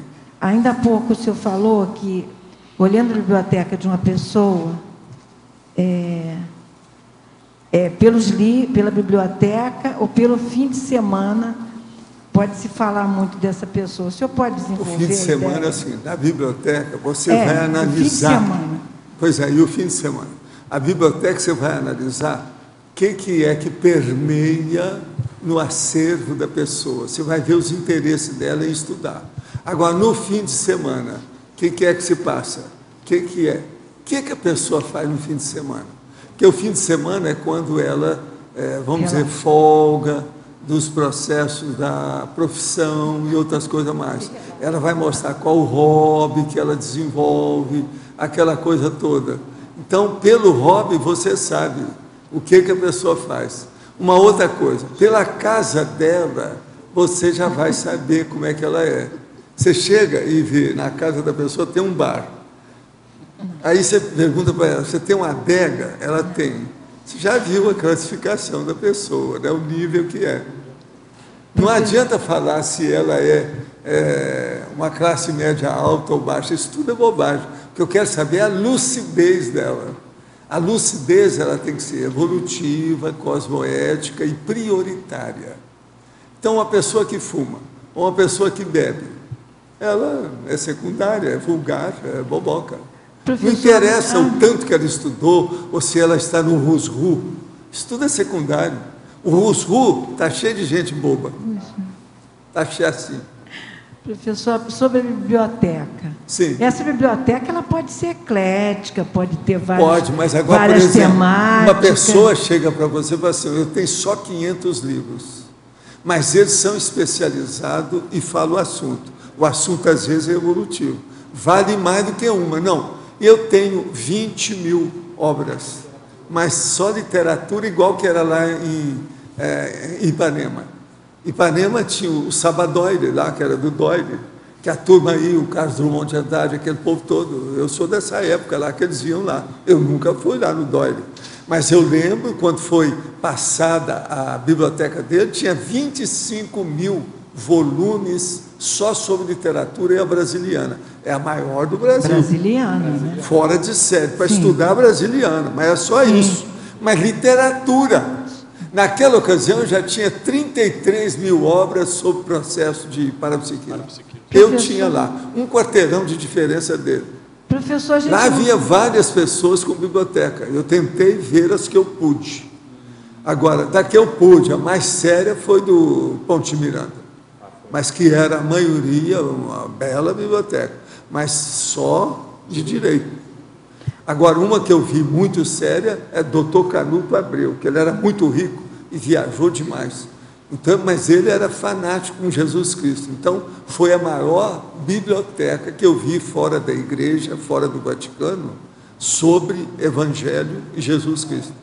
Foi a Dr. Canuto. Professor, literatura.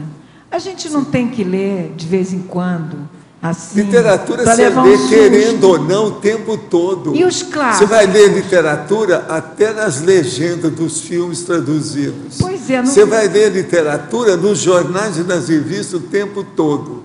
Por quê? É a baboseira básica. Pois é, mas é a perda de- literatura, é a então- baboseira básica. Então é perda de tempo mesmo pegar um romance. Total. Machado de Assis. É besteira, Aí- mas veja, o povo Lê precisa Machado. disso, que é a cultura da ciência convencional, da universidade, da academia. Precisa, não tem jeito. Eu estudei um monte de coisa desse povo todo, que eu fui obrigado, o que, que eu vou fazer? É a vida. Muito obrigada. Agora aqui, fiz uma mudança de residência nos dois últimos dias. Aluguei um quarto da- na casa de um senhor que fica perto do meu trabalho. Sou solteiro, tenho poucas coisas, o processo deveria ser simples. Mas, durante a mudança, em ambos os dias, me senti muito cansado e exaurido. Essa alteração repentina na energia poderia ter consequência de algum bagulho energético? Se é mudança, está na cara, né? A atividade do chakra nucal deixa claro o processo, mas não identifica o padrão. Não tem nenhum bagulho dos crassos, como armas ou pornografia. Tenho roupas, livros, caderno, coisas de informática só. O que poderia ser bagulho energético nesse contexto? Consegue sentir as energias do processo à distância? Olha, o problema seu aí é um processo familiar. Você deve ter alguma coisa de fotografia da sua família que você mexeu. Que, que você jogou fora? Você queimou alguma coisa? Você jogou alguma coisa no lixo? Olha que deve ter sido aí que o negócio piorou. É algum problema identificado com alguém da sua família. Você está com assédio de familiar. Veja quem é que dessomou nos últimos dez anos e que tinha uma certa relação com você. Você tinha alguma pessoa que fosse uma tia um tio que fosse seu padrinho? Ou pa- madrinha? A dindinha, como o povo gosta de falar? Alguém que te ajudou, alguma coisa? Pode ser que alguma coisa que você descartou que mexeu com isso. Às vezes pega na consciência. Eu já vi coisas fabulosas sobre esse negócio, sério. No seu caso aqui, o que eu estou sentindo é isso, é uma hipótese. Examine o problema.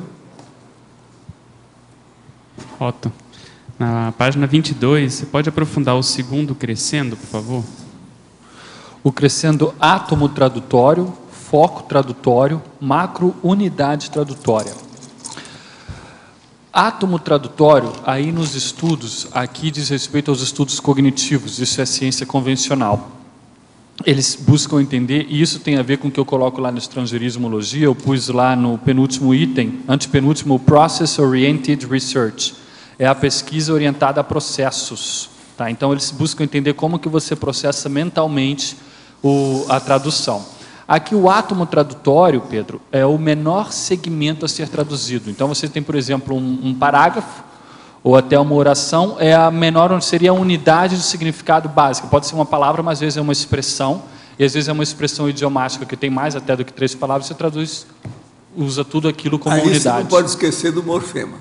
Perfeito. Aí entra o morfema, semema, aí entra o Morfema é o fonema, sério. grafema, entra todos eles aí. É. com base no morfema dentro do processo escrito que você está lendo, né? Aí entra o foco tradutório. A partir disso, é o segmento, tá? Você então vai localizar, mas você está trabalhando com o segmento do texto-fonte.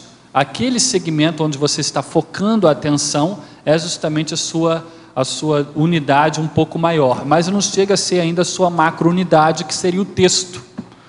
Então, ao contrário, você tem um texto, que é a sua macro-unidade tradutória, nesse texto você vai focar naquele parágrafo, e aí naquele parágrafo você vai trabalhar com um átomo tradutório, que é a menor unidade que você vai traduzir. Ficou? Obrigado. Agora, ó, você, é bom você explicar que essa tradução que você está falando é uma tradução escrita ou oral, não é isso? Pois é, mas você tem É bom você explicar. toda Essa vez daqui é que você falar. escrita. Que a tradução É fato, é fato. Senão a pode dar confusão. tradutore e traditore. Então eu preciso examinar o que, que é que você está falando. Urge não se ser é mais falada traidor. ou se é grafada, manuscrita. É. Foto. Aqui. Esse exemplo era, era grafado. Esse aí é grafado. Ó, Pois não, pois não. Aqui em cima no ar. É, você poderia comentar na página 20, patologia, última linha. A autopolineurolexicologia teática, por favor. Uhum. Então vamos lá, vamos entender. Autopoli, autopolineurolexicologia. Você tem cinco afixos, como o professor fala, você tem cinco morfemas, você tem cinco itens básicos nessa palavra. Auto é porque é pessoal. Poli é porque envolve aqui processo de outras línguas, um processo de dicionário de ideias afins, ideias analógicas. Neuro porque está armazenado no seu cérebro e lexicologia porque são palavras. Tá? Então aqui é o estudo do seu dicionário pessoal, analógico, sinonímico, antonímico. Teático por quê? Onde é que você vai aplicar isso? Há várias maneiras de aplicar. Na escrita, na aula, na interlocução, na TARES, é, uma, é um dos melhores usos que nós podemos ter para o autopolineuroléxico. E aqui o tradutor ele vai desenvolver, por isso que é teático. Aqui, por exemplo, eu estou falando sobre assunto, eu estou fazendo um processo até certo ponto teórico, mas baseado na minha prática. Então, aqui por isso que é teático. E o autopolineuroléxico é um desafio para todos nós. Então, como é que funciona aqui? O tradutor, querendo ou não, uma das primeiras coisas que ele vai desenvolver é o seu dicionário sinonímico, porque ele vai ter que lidar com sinônimos. Esses sinônimos, nós sabemos que existe o princípio da, do que os sinônimos não são, não existem sinônimos perfeitos, nem na sua própria língua materna, imagina entre outras línguas. Então você tem que lidar com esse processo e a partir daí você ir caminhando para trabalhar com os antônimos, com as ideias afins, o processo de analogias. Então o tradutor ele vai com o tempo necessariamente, nem que ele não queira, é, enfim, desenvolver esse autopolineuroléxico. Ficou claro aí? Ficou sim, obrigada. De nada. Sim? É, eu estou reparando que hoje você está falando mais espaçadamente, mais histrionicamente. Isso é em função de alguma inspiração extrafísica, de algum Não, trabalho é que você ele estava está fazendo? mais veterano para enfrentar o verbete na minha frente. esse, que, esse é o verbete que número? 13. 13, ele já está doutor no assunto. Ele domina, que ele já entra aqui é igual peixe na água. Ele já domina o ambiente. Está Menos, ficando menos. cada vez mais tarimbado. Ele está solto, não é isso que você está achando? Está muito mais solto. enfatizando mais, Tá, com não. mais E ele está raciocinando com mais nitidez as coisas no detalhe. Isso aí que está importante. Mas tem alguma relação com algum último trabalho também que você andou fazendo? Que te demandou mais isso, não? Não, porque eu acho que isso aí também é o foco da sua preocupação diária. Sua vida é baseada nisso, né? Isso aí está pegando a essência da vida dele hoje. Ele é tradutor. É. Quer dizer, intérprete, intérprete. É. Professor, professor Valdo, boa tarde. Aqui, no ar. É, tradutor somos todos nós, porque traduzimos as nossas ah, partes Não, você internas. começa traduzindo o seu filhinho que acabou de nascer e começa a falar dad, papá, mamãe. Você começa a traduzir. O que, o que, é que esse menino está falando? Não, ele está falando isso, ele está com fome. Eu gostaria que o senhor desenvolvesse o seguinte: é, como a gente ser mais, é, cons, é, ter mais consciência ética na, no que nós traduzimos dos outros? Porque eu acho que a gente é muito preconceituoso com as pessoas. É, a primeira coisa é o seguinte: você tem que traduzir gente que você entenda quem é. O que, que aquela pessoa pensa. Não adianta você ver uma coisa que ele fala ou uma coisa que ele escreveu. Você tem que entender a personalidade. Quanto mais você conhecer a personalidade, melhor será a qualificação da sua tradução. Eu acho muito difícil uma pessoa que pega de cara, encontrou uma pessoa e começa a traduzir. Eu nunca vi uma tradução que saísse 100% quando o assunto começa a ficar complexo. É muito difícil. A pessoa tem que pensar o que, que é que o orador, como chama aí, o Otto gosta de chamar o orador, quer dizer, aquele que está fazendo a peroração, o que, que ele raciocina, o que, que ele pensa, qual é a meta, o objetivo, qual é a essência do pensamento dele. Não é isso? E Você está entendendo? É uma, uma consciência que a gente está tentando interpretar. Como é que é? Se for uma consciência que a gente está tentando... Não, todo mundo tem consci e consciência. Jamais você vai ver uma pessoa que fica falando, se há muito interesse, que ela não tem alguém que esteja ali soprando. É o Espírito Santo de orelha ou o Comendador Ventura. Agora, o que é que se passa? Ele mesmo falou sobre o processo do estado alterado de consciência. Qualquer pessoa que vai fazer uma tradução, principalmente nesses locais, eu já participei disso, eu era menino ainda, menor, quando eu fui fazer uma viagem na Argentina, a primeira que eu fui fazer fora do Brasil, saindo de Uberaba para ir para é, Buenos Aires, para ser tradutor e intérprete oficial do, do povo todo, com três professores, fora os ministros do Perón, tudo na minha frente. E eu lá, eu era o mais novo do povo todo. Mas é que eles falaram assim, não, quem entende mais aqui de castelhano é o Valdo. É, é, eles nem falavam espanhol, não, castelhano, que era o, o espanhol da Argentina. Então lá vou eu fazer a tradução daquilo que não foi fácil. E nós passamos lá praticamente três semanas em Buenos Aires é, comendo melhor, estudando tudo, porque o Perón, naquela ocasião, queria doutrinar a gente para o justicialismo, que era a política dele, o partido dele. E outra coisa, estava nadando de braçada com muito dinheiro, isso é 1953, julho de 1953. Então, tinha muito dinheiro que os nazistas trouxeram toda a riqueza dos judeus da Europa e despejaram na Argentina. Então, era uma fábula, a riqueza, a, a suntuosidade, tudo era suntuário, o requinte, o excesso, o luxo, uma loucura aquilo tudo. Cada é, a, a comida que você tinha, em qualquer coisa, era tudo à la carte. Vinha 16 pratos só de carne, uma loucura. O povo, tudo que era de São Paulo, ficou besta de ver aquilo, era uma loucura. E outra coisa, eles colocavam todo mundo, porque todo mundo acadêmico, todo mundo jovem, né? Arranjava as moças mais bonitas de Buenos Aires, que era acadêmica, para servir de é, orientação para a turma, guia turístico e etc. Tal. Todos os dias. O povo, é lógico, esses, os acadêmicos de ontologia lá, meus colegas, se sentindo no céu, no paradise, né? A melhor coisa que podia haver. Mas então eu sei como é que é o processo da tradução, como era que é difícil. Agora, na Argentina, eu tive então um impacto muito sério, porque o sotaque argentino acabou com o espanhol. Então, era um portunhol danado, às vezes deles mesmo, para falar com a gente. Então, aquele negócio do. E tinha aquele negócio, né? O cara chegou e falou: Nossa, a mala está suja, suja, suja, suja. Então ele pensou que estivesse suja. Deu um problema lá. Você está entendendo? Tudo isso eu vi. Eu era rapaz mas foi uma grande viagem. Naquela ocasião, nós fomos lá, tudo pago pelo governo. Aquilo foi processo interuniversidades, entende? Entre a de Uberaba e a de Buenos Aires. Mas ele estava fazendo isso com muitos, para fazer os descabeçados. Era para fazer propaganda política dos descabeçados, que era o peronismo, do Peron.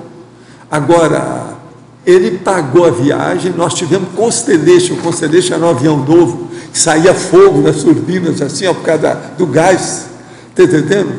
Todo mundo via aquilo, e vários motores, era o maior avião da época, e nós fomos para o Rio, para depois ir de Constellation para Buenos Aires. Negócio seríssimo, tudo. Tinha ministro que veio de lá para o Brasil. E outra coisa, cada professor, cheio de alemães no meio, com a cabeça de dois metros cada um deles. Todo mundo, porque você sabe que a Argentina, por exemplo, ela tem prêmio Nobel, o Brasil não tem nenhum. A Argentina já havia, há muito tempo, inclusive, de fisiologia lá dentro. Tudo por quê? Porque eles colocaram dinheiro dos judeus que os alemães trouxeram, os nazistas que ajudaram o Perón. Por isso que eles caminharam tanto assim. E por isso que eles andavam de braçada com todo aquele requinte da vida que havia. Entende? É, Wisconsin, nos Estados Unidos, lembra-se de tudo que leu e tudo que viveu em todos os dias de sua vida. Especialistas consideram uma das melhores memórias do mundo. Detalhe, ele não é um savante. O verbetógrafo fala em memória de curto e longo prazo. Mas não seria isso uma precipitação? Digo isso pois ninguém sabe onde se armazena no cérebro a memória.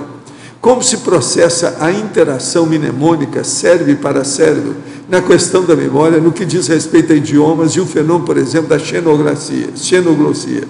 Estaria eu errado em pensar que não existe memória cerebral, ou seja, fica tudo no paracérebro e não no cérebro? Não, você está errado. Você pode dividir a memória pequena, por exemplo, a memória do gato, a memória do cachorro, a memória do cérebro, a memória do paracérebro, a memória da pessoa na vigília física, a memória da pessoa na vigília extrafísica, tudo são modalidades da memória. Que bobagem é essa? Por que não? Você está com é, qualquer preconceito contra o processo da classificação da memória. Isso é bobagem. Você não acha? Nós temos que classificar o processo. Não, sem dúvida. Isso é processo científico é. É, convencional, famoso, antigo. Nas teorias é. da memória, ele deve estar se referindo a um processo que, nos estudos de memória, os estudiosos têm dois vieses. Tem um pessoal que acha que não há nenhuma divisão, mas há o pessoal que é a versão que ganhou o maior curso na ciência, que divide sim memória de curto prazo, longo Agora, prazo, de trabalho, por aí vai. Se, ela, se a pessoa aí for pegar e for estudar a memória, ela vai arranjar uns 20 tipos e modalidades de memória Tranquilo. classificada. E tem memória de todo tipo. Entende? Pequena, grande, anterior, posterior, memória disso, remota, recente, memória numérica, memória alfabética, memória disso, memória daquilo. E o que é bacana é que sabendo disso tudo, ajuda você a ter maior autoconsciência Não, do seu é importante isso para a gente ver as modalidades da Perfeito. manifestação mnemônica que é a cognição da pessoa. Isso é Agora, é a, a, respeito dessa hipermnésia, tem o, o, conto, tem aquele personagem do Jorge Luiz Borges, para ficar no Isso, campo da Argentina, é. que é o Funes, é. o memorioso. É o memorioso. É, eles brincam com isso. Ele sabia tanto, se lembrava de tudo, que não conseguia ter uma vida, era atordoado pela própria memória. Pois então... É. Mas isso aí acontece. Essas coisas tem quando a pessoa tem muita retrocognição. E outra coisa, por isso que eu falo sobre aquele processo da descoincidência vígil. A descoincidência virgem perturba a vida da pessoa.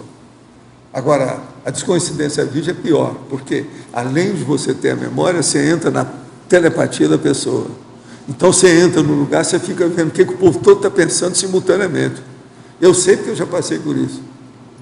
Eu tive um semestre fazendo pesquisa sobre esse assunto e caí na história. Depois, para mim sair disso, me deu um trabalho danado. Isso é o fenômeno da descoincidência vígil. Agora, Agora, esse é pior, porque é o processo da memória, mas ampliado na vivência. Então, todos os atributos mentais vêm com a memória. Agora, no seu processo de semiconsciência, você não vai caminhar para isso? Não, eu vou, mas eu vou homeostaticamente, sadiamente. Eu não vou de uma hora para outra e receber aquele acesso epilético de telepatia. Isso é uma loucura. Você entra na história lá do processo, isso é terrível. Entendeu? Agora, por exemplo, eu, durante seis meses, eu evitava ficar no lugar que tivesse duas, três pessoas. Na multidão, no meio da rua, eu evitava. Eu procurei não andar mais nos lugares, nem nada, eh, isolar. Porque a hora que você chega na multidão, você fica uma loucura. Porque aí, além do povo que está ali, tem os assediadores do povo. Foi aí que eu vi como é que o negócio extrafísico quebrava. Agora, eu procurei ficar mais em Ipanema, ia para a praia quando não tinha ninguém, levantava de manhã para ir à praia, quando não tinha ninguém, está entendendo? Para não ter contato com multidão. Durante uma temporada eu não dei aula, está entendendo? Não dava. Porque eu entrava em contato e a pouco começava a sentir o processo, toda a influência daquilo. E outra coisa, se a gente não tiver cuidado, confunde tudo. Que começa a embaralhar o problema das intrusões, é aquilo que eu chamo do exopensene. Vamos supor que venha 10 exopensenes simultaneamente com você. Isso aí é que é o negócio, é a descoincidência virgem. Agora, a descoincidência virgem que mexe com o processo da memória, mas depois com as modalidades dos atributos conscienciais, os intelectuais, esse é edição difícil. Otto, aqui da letra B, por favor. Oi. Parabéns pelo verbete. Na página 20, por favor, em fatologia, na quinta linha. Eu gostaria que você comentasse, não sei se já foi falado, cheguei depois, na quinta linha, o automonitoramento cognitivo e depois a saturação dos recursos intelectuais também. O automonitoramento cognitivo, Fabiana, você pode ver esse verbete do professor Valdo, por exemplo.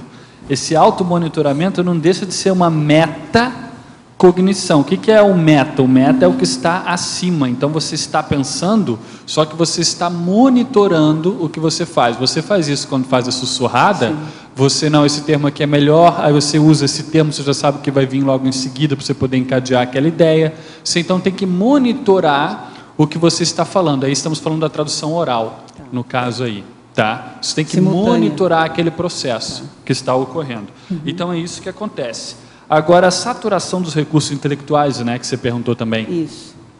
A saturação é justamente quando você está já cansado, se você não tem um processo fisiológico, já está um pouco defasado, saturado, e aí isso vai incidir tanto nos tradutores escritos, tá? tanto em quem trabalha com tradução, quanto com interpretação, tanto oral quanto escrito você pode ter esse processo de saturação. Aí entra a psicose do tradutor. O professor Valdo até fala disso, a psicose do tradutor. Então, se você já está cansado, por exemplo, você necessariamente vai ter lapsos, é o lapsus linguae. Você vai ter lapsus memoriae, você vai ter lapsos de memória, lapsos de língua, você vai confundir as coisas. Você já deve ter tido experiência nisso, você também. Então, quem tem a vivência com o processo de tradução, isso ocorre. Tá? Então, é um processo de saturação que ocorre nas mais variadas. Aqui todos têm, não, não necessariamente na tradução, num processo cognitivo natural, a pessoa já está trabalhou o dia inteiro, alguma situação aí vai para a faculdade à noite, isso ocorre também. A pessoa que escreve, aí vai não quer parar de escrever, quer escrever sem parar porque está motivado, daqui a um tempo ela está cansada, começa a esquecer as coisas, começa a errar na grafia. Então isso tudo ocorre. Aproveitando, é, seria interessante você falar do seu processo aí da, da ALBA no, no, no que tange à tradução simultânea, por exemplo, os cursos.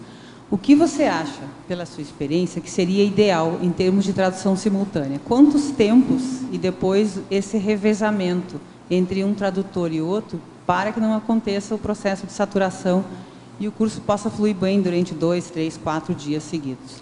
Perfeito, você traz um assunto importante, porque é sabido, isso daí é a prática profissional, que isso já vem desde o pós-segunda guerra, desde quando a tradução, a interpretação simultânea, aquela oral falada, foi consolidada enquanto profissão, que se tem o processo da memória, ele tem momentos, né? ele vai mais ou menos num crescendo e depois cai, é o ciclo da, da a memória. Então você tem um processo ali ótimo, picos de capacidade de concentração. Então, se você está traduzindo uma hora, você vai traduzir uma hora, você sente que durante a primeira meia hora está tranquila, daqui a pouquinho cai um pouco. Você sente no seu rendimento que cai um pouco. Aí depois você retoma. E aí vai. Então, para evitar essa. Esse, e aí, depois de uma, duas horas traduzindo, você vai ter necessariamente um, uma defasagem e a sua qualidade cai muito. Então você tem que explicar isso muitas vezes para quem está organizando os eventos, para quê? Para que eles entendam a necessidade de se ter duas pessoas trabalhando, para quê? Para você fazer revezamentos. Você sabe muito bem, a gente trabalha com um revezamento aí na base de 20, 20 minutos, meia, meia hora, dependendo, porque você falou de eventos de 4, 5 dias. No quinto, você já faz 5, 5 minutos você troca. Depende também da dificuldade do orador, depende também do rapport. Às vezes a outra pessoa acoplou com o orador, está tão bem, você não vai cortar, você deixa. Então você tem que ter sensibilidade também a esse processo. mas é por isso esse processo cognitivo, a tradução em geral, tanto a escrita quanto a oral, ela é muito demandante, ela exige muito intelectualmente. Então você tem que ficar consciente dessas restrições intelectuais e usar isso a seu favor, não contra. Sim, eu trago isso justamente por isso, para a gente poder manter né, o padrão de qualificação. E nos cursos, muita gente, o pessoal que chama, realmente tem o interesse de ajudar, mas chama uma pessoa. Né? Então, o ideal é sempre pelo menos ter duas para poder fazer esse revezamento. E aí o que você faz, você, tá, você traduz a primeira manhã direitinho, né, quase simultânea, Sim. e à tarde você já está resumindo tudo que o povo Sim. fala. Aí ele daqui a pouquinho olha para você, você está traduzindo mesmo? Que ele falou dez palavras, você traduziu uma. É. Aí, já está dando tilt. É, né? exato. Sim. Mas porque você já está cansado, você já está fazendo claro. o que você pode. Até o analfabeto vê que a pessoa não está traduzindo. Sim, sim, sim. Isso aí. Ok, obrigada. Otto, aqui. É, o professor Valdo e a Tânia comentaram sobre a questão da literatura. Eu queria saber qual que é o teu posicionamento, ou não sei como você observa o processo da tradução literária. Muita evocação também, né? A questão do assédio. Tradução literária. Não sei se você tem. Não né? tenho experiência. A minha ah. experiência com texto é mais tradução de documentos, devido ao processo da tradução juramentada. A evocação que eu coloco ali, ela acontece em qualquer contexto, independente da natureza do texto. Tá? Ela vai acontecer se você está, por exemplo, traduzindo um processo de certidão de casamento ou um testamento, que é processo que vai ter bens, vai envolver dinheiro ali, necessariamente tem muita pressão em cima textos em geral, enfim, publicitários, dependendo do produto que está sendo vendido, você tem que ver a intenção daquele produto, se ele é mais homeostático, nosográfico ou neutro. A intenção de quem escreveu está impregnado, é o grafo pensene, está impregnado no texto. Então, quando você entra em contato com aquele texto, necessariamente você entra, está entrando em contato com energias conscienciais. Então, como que você lida com aquele processo? Então, você tem que, o que eu falo ali, do EV, toda aquela tramitação que a gente já conhece processo do EV, você tem que às vezes fazer um processo de acoplamento, aí dali às vezes tem um processo de consegue, você tem que limpar, você tem que exteriorizar para todo o ambiente, para poder trabalhar, às vezes pesa. Eu e a Alba, às vezes no escritório, às vezes pesa, às vezes ela está traduzindo alguma coisa que dá repercussão em mim, eu não estou mexendo com nada, mas então eu já fico consciente, a gente tem que conversar muito nesse sentido. Isso no texto, então, isso acontece não só literatura. Tá, agora, na interpretação da mesma maneira, você tem um processo da pressão, ainda mais nessa tradução que a Fabiana faz, por exemplo, sussurrada, você está ali no cangote do indivíduo. Então você necessariamente está entrando no processo de acoplamento no tapa, né? Queira ou não. A tradução pior é essa de documento. É uma essa das mais bravas. Mais repercussão porque é uma coisa definitiva. É oficial. O processo oral, verbal lá, aquilo o vento leva. Mas agora a documentação que vocês fazem, é braba. Você traduz coisas da Justiça Federal, processo seríssimo envolvido. E ah, sempre verdade, dá um vocês estão compondo documentos. Isso é pior do que juiz. Vocês têm que olhar muito isso. Ó, tenho três perguntas para você. Vamos lá, Ju. É, trinomiologia. É, pois não. O trinômio, paragenética, nature, nurture. O que nurture? Nature você puxou para o francês aí, né? Cada um, você vê que o pessoal puxa o que pode, né? Dando processo. Então, isso daqui é usado bastante no processo aqui, Julieta, o, o nature, mas pode ser nature mesmo, você não está não tá equivocada não. Nature e nurture, já vem um processo aqui de tudo que se estuda na ciência convencional que diz respeito ao homem, ciências humanas, mas também a psicologia evolucionista, as ciências cognitivas, todo esse povo, eles trabalham com o quê? Eles tentam determinar até onde a, a, a, genética, eles não sabem de para a genética, por isso que eu coloquei, até onde a genética da pessoa determina o que ela faz, o que ela é, esse é o nature, a natureza dela, e até onde há uma determinação pela criação, que é o nurture. Então, como é que se dá essa interação entre a genética e o meio? É justamente isso. Agora, em cima disso, nós temos a paragenética também. Isso tudo influencia no processo cultural da pessoa, que vai influenciar, consequentemente, Uma palavra que deve na tradução. aí é o processo de você estar tá fazendo a instrução, que é a alimentação. Você está, então, alimentando. É por isso também. Isso aí é um dos significados da história é o do, do, do nurture, a criação, é. a alimentação, perfeito. A alimentação. Nurture é isso, alimentação. Tá bom, tem outra aqui agora. Antagonismologia. O antagonismo, peso de cada palavra, essência da mensagem. Explica melhor isso Grosso modo, quando você trabalha com a tradução escrita, predomina isso aqui, o antagonismo, perdão, o peso de cada palavra. É isso que predomina. Você tem que pesar muito cada palavra, porque você vai colocar grafado e ali você tem um, uma intera como ele está mais permanente, tanto a interpretação do leitor quanto as derivações daquele texto, isso conta muito o peso de cada palavra. para a mensagem, para assim, o entendimento da mensagem que você quer passar. Acho que você já falou isso hoje no decorrer aí, Mas, respondendo. é, mas o entendimento da mensagem que você quer passar diz mais respeito pelo que você fala, a essência da mensagem. Aí, Sim, mas é cada palavra que você usa para poder dar aquele entendimento que tem o texto Perfeito. para as outras pessoas. Perfeito. Às vezes você já disse aqui que você não usa a mesma palavra como está escrito. Você tem que modular, procurar uma palavra mais adequada que dê aquele sentido geral do que aquele texto está querendo dizer. exato, é isso? Exato, isso, isso são as, as vicissitudes, isso é normal no processo da tradução. Agora, a tradução ela pode ser mais ou menos literal, tá? isso tudo vai depender, por exemplo, quando a gente traduz documento, importa, é su- sumamente importante você estar mais próximo possível do original, do documento original. Às vezes, até o caso, é recurso comum dos tradutores juramentados, você deixar no original e você abre colchete e explica o significado daquela palavra. É importante que o juiz, a pessoa que vai ter acesso àquele texto, saiba o que estava escrito exatamente no original. outra coisa, às vezes você tem que escolher, em vez de fazer o português brasileiro, você põe o português lusitano.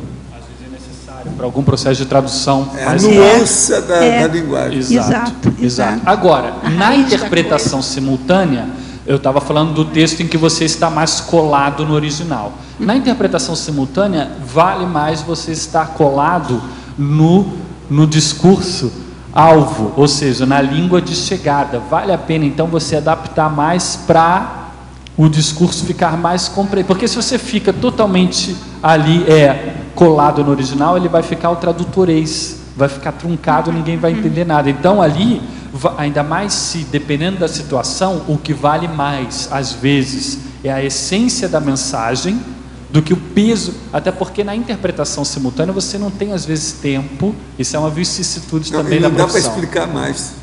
É. Você não tem A essência da mensagem. A essência da mensagem é a Verdade. ideia que a pessoa quer passar. É. Então você tem que focar nela para não passar uma ideia É um errada. pepino. É isso? Oi? A essência da mensagem seria a ideia que o a pessoa conteúdo. quer passar. É o, conteúdo, é, a o ideia. conteúdo, é o conteúdo. Aí você tem que encontrar uma forma de passar aquele conteúdo de forma fidedigna, é isso? Exato. Você tem que fazer o que eles chamam aqui, Julieta, lá no último item da estrangeirismologia, a théorie du sens. Essa daqui é a teoria do sentido ou a teoria interpretativa da tradução. Essa teoria aqui lida com tudo isso que nós estamos falando, ou seja, você vem o significado, você tem que fazer uma desverbalização, é, o tal do significante significado. Você tira o Isso. significado, fica com o conteúdo e depois você dá uma roupa, um- uma forma na língua de chegada e aí toca. Agora é muito difícil porque você tem que escolher às vezes em décimos. Então todo o seu estudo, toda a sua, sua, quando, sua consulta de dicionários tem que ser prévia no estudo do evento. Por isso a importância que o professor Valdo falava de se conhecer a personalidade do, de quem vai ser traduzido, você saber quem vai ser, quem são os oradores, estudar antes, buscar na internet, Para buscar você material. selecionar a língua de chegada. Exato, estudar tudo que pode antes. Se você não souber de partilha, não adianta nada. Perfeito. Agora me conta, a Alba não falou nada. Seria bom ela se manifestar dentro dessa grande controvérsia. Tem mais outra Que ela pergunta está que eu quero caladinha. Isso é o fazer. perigo, esses professores calados. Eu vou falar um negocinho com essa sua pergunta, é, né, já que foi solicitada aqui. A questão da- do peso da palavra na tradução escrita é por causa da perenidade da tradução escrita. Porque o papel ele vai ficar mais tempo ali. Isso. Na interpretação, é assim, falou, ah, que ele falou, ah, ele falou tal coisa, ah, esqueceu. Às vezes não tem, a gra... na maioria das vezes não existe uma gravação do evento, sabe? Acabou o evento, acabou a tradução, não fica nada registrado ali. É mais séria, né? Então, essa, não, essa que você fala é... É, É mais séria, eu não, acho. A que você fala é a menos séria. A escrita, Exato, né? exato, Ficar é a mais séria. Ah, você escreveu tal coisa, o cara volta lá na sua casa, no seu escritório com o documento, ó, tá errado aqui, imagina, né? É mais difícil. É, entendi agora. Agora, me fala esse, esse, deixa eu ver, o polinômio, ortografia, fonologia, semântica, sintaxe, no contexto da tradução. A ortografia, ela é necessariamente a interpretação do que você está lendo. Aqui no caso, quando você vai trabalhar tanto com tradução escrita, tá? Quanto com tradução oral, às vezes um discurso mais político que já foi preparado com antecedência, tem um discurso escrito e eles passam para você na cabine. E aí você vai ler, mas aí ele na hora é, ele faz tudo de improviso, muda tudo, então tem que tomar cuidado. Então, a ortografia aqui é o processo da compreensão do que está escrito. A fonologia é porque você então vai, a partir daquilo ali, falar. Mesmo quando a gente trabalha com a interpretação simultânea, tudo está baseado no que está escrito, porque é a consulta dicionários, é a consulta terminologia específica da área. E um grande problema para quem trabalha com interpretação oral, no meu caso, tradução oral, é você saber pronunciar. Então, isso daqui é que entra a fonologia. E, claro, o significado das palavras, óbvio, né? o semema aí, que entra no processo do morfema e tal, e a sintaxe, ou seja, a organização disso dentro do processo da frase. É muito importante, porque às vezes, dependendo do idioma, isso tudo altera. O idioma como o alemão, por exemplo, que tem umas partículas. Então, você tem o verbo, por exemplo, machen, que é abrir, o que é fazer, só machen. Mas você pode ter aufmachen, você pode também ter zumachen.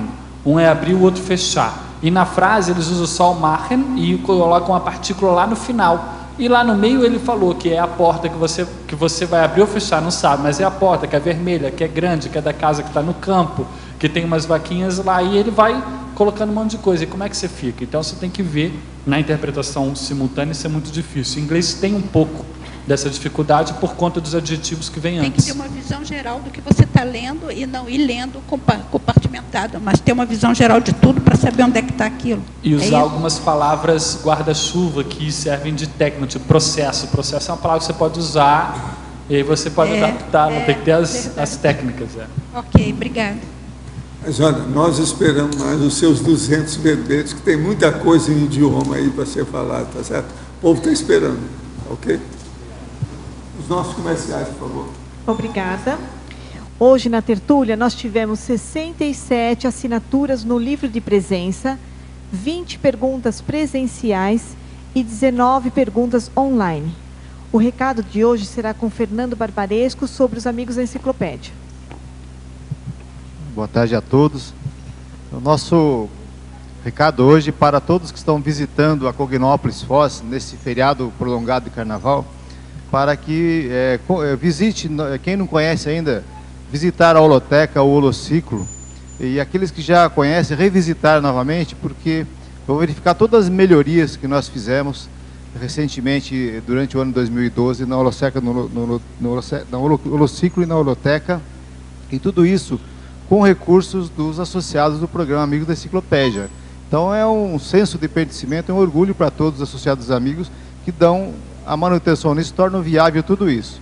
Então a transmissão das tertúlias, o fornecimento de verbetes diariamente, tudo isso está acontecendo, a susten- a sustentação financeira provém dos recursos dos associados do programa Amigos. Então é muito importante isso, nós agradecemos a vocês, vocês têm que ter esse senso de per- pertencimento, esse vínculo consciencial com a Enciclopédia da Conscienciologia, que é muito importante. Então a gente convida a todos, quem não conhece ainda, a visitar esse ambiente, a conhecer o programa Amigo da Enciclopédia, a tornar-se um mantenedor da Enciclopédia da Conscienciologia, da produção da Enciclopédia. Então quem tem aí, é, tá, que está fora de Foz do Iguaçu, basta ligar na recepção do CAEC no 45 35 25 26 52 e em poucos minutos você faz a sua adesão ao programa Amigo da Enciclopédia com seu cartão de crédito.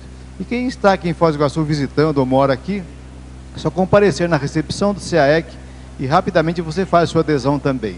Tem dificuldade, procura a gente também, gente conhecer melhor, entender qual é o programa, como são destinados os recursos, a importância desse, desse programa para a manutenção que tudo isso aqui está acontecendo. Muito obrigado. Obrigada, Fernando. E o verbete de amanhã será Desrepressão Sexual, da especialidade Sexomatologia. A autora é será Verônica Pinheiro. Uma boa tarde a todos e obrigado pela presença.